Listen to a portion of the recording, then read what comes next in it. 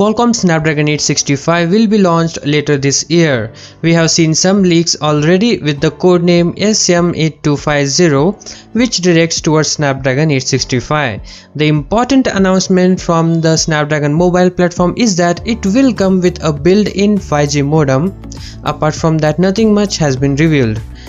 However, the tweet from this user indicated that this chipset will come with an external 5G modem and if that turns out to be true then we might see two variants of Snapdragon 865 that is one with inbuilt 5G modem and the other with external 5G modem. If we see, there are not many 5G phones available in the Indian market. Also, the 5G network is not available.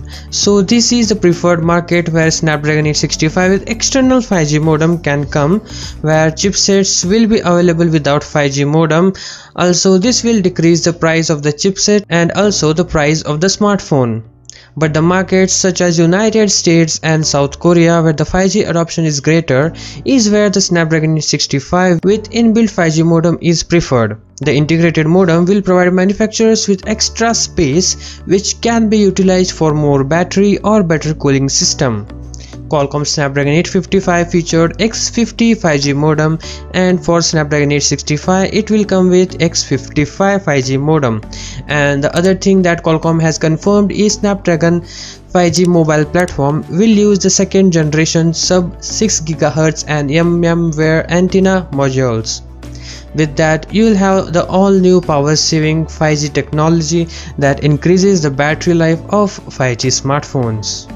The next good news is regarding Samsung. To know everything, let's dive in. Every manufacturer tries to find new ways to implement selfie camera and make entire front surface available for use. In that process we have seen new and improved displays with various kind of notch. But one manufacturer and you guessed it right, it's Samsung which found the best way for the current state of technology. Few weeks ago, the Vice President of Research and Development Division of Samsung said that Samsung would be close to creating a full screen panel without any kind of notch. So with this technology, every sensor and the front camera will be underneath the screen, making it notchless and beautiful. How this technology works is when the front camera is not in use, the hole will become invisible just like the in-screen fingerprint scanner we are used to seeing so you got the idea right? But still it is unknown if this is how it will work. It's just a rough idea that we have. Also the Korean giant has filed a request for a patent relating to a wrap around display which extends beyond the edges and continues on the back of the phone. So this is it for now. If some more updates are available i will let you know.